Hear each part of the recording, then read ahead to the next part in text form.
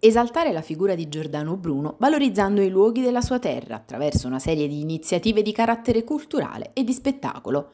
È questo l'obiettivo del progetto Certame Internazionale Bruniano, promosso dal Comune di Nola e cofinanziato dal POC Campania 2014-2020 nell'ambito del programma Rigenerazione Urbana, Politiche per il Turismo e la Cultura, programma regionale di eventi ed iniziative promozionali. Gli eventi si terranno fino al 29 dicembre a Nola, la terra che ha dato i natali al filosofo Arso Vivo in Campo dei Fiori a Roma il 17 febbraio del 1600.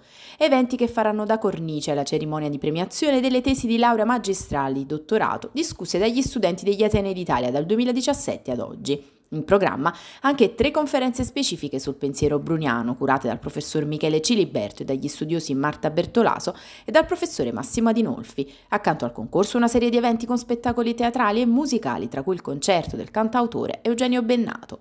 Alla presentazione degli eventi hanno partecipato l'assessore alla cultura del comune di Nola Ferdinando Giampietro, il consigliere comunale Vincenzio Iovino e il sindaco Gaetano Minieri. Avremo un programma ricco di eventi, di spettacoli, teatro, musica, ma non solo.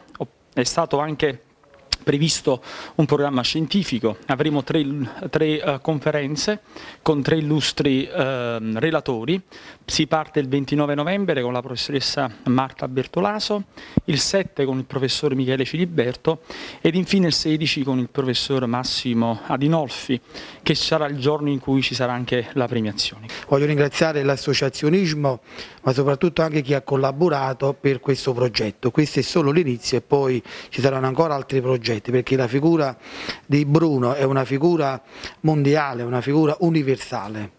Oltre alla filiera culturale noi dobbiamo anche eh, creare quella filiera turistica che possa, possa, dare respiro ai territori. E quindi la valorizzazione che insieme al Presidente De Luca stiamo facendo per valorizzare i, nostri territori, l'entroterra, quindi crearci non come alternativa ma come accompagnamento alla filiera della costiera, quindi noi dobbiamo eh, sfruttare tutte le nostre peculiarità che vanno dal turismo gastronomico, al turismo archeologico, al turismo culturale e al turismo folcloristico, la nostra anche festa di Gigli che è patrimonio immateriale dell'umanità.